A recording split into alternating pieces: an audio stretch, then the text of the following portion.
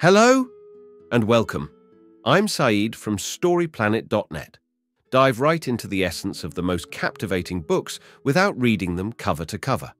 Whether you're on the go, at the gym, or just relaxing at home, we offer you a unique and enriching listening experience. Today, we are exploring the book Experiments with People, a creation by Robert P. Abelson, Kurt P. Frey, and Aiden P. Gregg. Experiments with People, 2003, provides insights into 20th century social psychology and what it has taught us. These summaries shed light on self-discovery, the unseen aspects of human behavior, rationale behind our decisions, and the true level of human altruism. Before we delve into these revelations, it's interesting to note that Robert Paul Abelson was a psychologist and social scientist at Yale University and a fellow of the American Academy of Arts and Sciences. Kurt P. Frey is a psychology professor at Bridgeport University in Connecticut. Aiden P. Gregg is an associate professor in the psychology department at Southampton University in the United Kingdom. With 10 key ideas to unveil, brace yourself for a deep dive into this captivating book on storyplanet.net. To start, an overview of a century of research on human nature. The text discusses the concept of human nature and how social psychology experiments have helped psychologists understand why people behave the way they do. It highlights the influence of group belonging on behavior, people's lack of awareness of their actions' underlying reasons, and the role of social psychology experiments in illuminating human behavior. Key points include why people invest in doomed projects, how situations shape behavior more than personality, and the existence of gender roles to rationalize inequality. Key idea number one. People frequently hold misunderstandings about their emotions and thoughts. People often misinterpret their behavior by attributing it to stress or other factors. Introspection, the practice of reflecting on thoughts and feelings, can lead to inaccurate conclusions about behavior. Memory is influenced by present beliefs, leading to distorted recollections of past events. Key idea number two. We value things more when we've made sacrifices for them and when they are presented positively. People tend to value things more when they invest a lot in obtaining them, even if the items are not actually very good. This can lead to overrating the value of what we gain and makes it difficult for us to cut our losses. The way options are presented also influences decisions, as shown in a study with different pamphlets about mouthwash, where positive language led to more orders for a free sample compared to negative wording. Key idea number three. Situational factors influence behavior more than character traits. Even those considered compassionate may ignore others in need when in a rush. Studies show slow individuals are more likely to assist someone compared to those in a hurry. People tend to explain their own actions based on situations but judge others based on character. It's crucial to consider the challenges others face. Sometimes acting contrary to intentions can be beneficial, like intentionally staying awake to fall asleep faster when exposed to loud music. Key idea number four. Mental processes can lead to misjudgment. People tend to accept information at face value before questioning its accuracy. In a 1993 study by Daniel Gilbert et al., participants unknowingly suggested longer jail sentences for an accused person when distracted, affecting their decision-making.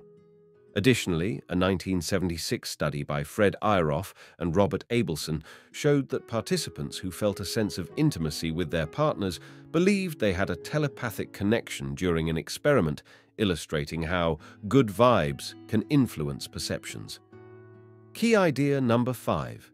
Fiction helps us cope with the real world by accepting it as reality. People tend to deceive themselves into believing everything is fine and use strategies such as rationalization and forming stereotypes to make sense of the world.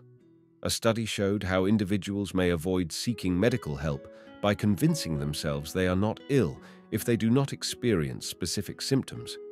Similarly, gender stereotypes are formed to justify societal roles as shown by a study using fictional alien races to highlight how perceptions of assertiveness can be attributed to roles rather than innate traits. This demonstrates how stereotypes can influence perceptions and assumptions in society. Key idea number six. Group loyalty and pressure influence our behavior significantly. People behave differently in groups than when alone. Group affiliations influence perceptions and behaviors. Studies by Hastorf and Cantril, Cialdini, and Asch show how group dynamics affect behavior. Group pressures, social norms, and the power of conformity influence actions and decisions. Individual behavior can be influenced by the group but can also be swayed by a dissenting voice. Key idea number seven. Groups can facilitate negative behavior. Human behavior in groups can lead to negative actions due to diffused responsibility, de-individuation, and exclusion. Studies show that individuals are less likely to offer help or follow rules when in a group setting. Examples include the diffusion of responsibility demonstrated in Darley and Latané's study and the de-individuation effect shown in Diener's Halloween experiment. Exclusion from groups can result in extreme antisocial behavior, as exemplified by the tragic case of Eric Harris and Dylan Klebold, who committed a school shooting due to feeling ostracized by their peers. Key idea number eight. Attraction and prejudice are driven by unconscious factors.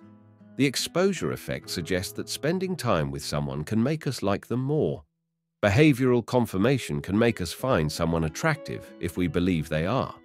However, negative prejudices can also influence our opinions, even if we are unaware of them. This was demonstrated in a study by Dovidio et al. in 1997, where participants showed quicker associations of negative words with black men exhibiting hidden biases. Key idea number nine. People are susceptible to influence and can be led to commit harmful actions. Participants can be influenced to change their opinions or act against their beliefs through cognitive dissonance or authority figures. Leon Festinger and James M. Carlsmith's study showed how participants altered their beliefs after contradicting their actions. Stanley Milgram's study revealed that people could perform extreme actions under authority figures' influence, even administering a potentially lethal 450-volt shock. This highlights the power of obedience and the potential for individuals to act against their moral compass when following orders. Key idea number 10. Altruism and love are real. Humans can display altruism as evidenced by the C. Daniel Batson et al. study, where 60% of participants signed up to help someone despite knowing others had already pledged assistance. Love has been associated with making a loved one part of one's sense of self, shown in Arthur Aron et al.'s 1991 study, where participants hesitated to sort descriptions about their spouses as not me, indicating a strong connection and integration of the spouse's identity with their own. In conclusion, social psychology provides insights into human behavior and relationships. Understanding studies from the 20th century helps us comprehend human actions, motivations, and mental processes. Further reading includes Influence by Robert B. Cialdini, which explores persuasion techniques and how to defend against manipulation. Feedback on the content can be shared via email at rememberstoryplanet.net with the book title as the subject line. Thank you for listening to this summary. If you enjoyed this exploration, we invite you to discover other fascinating books on storyplanet.net. Don't wait any longer. A multitude of books, stories, and knowledge await you there. See you soon on storyplanet.net.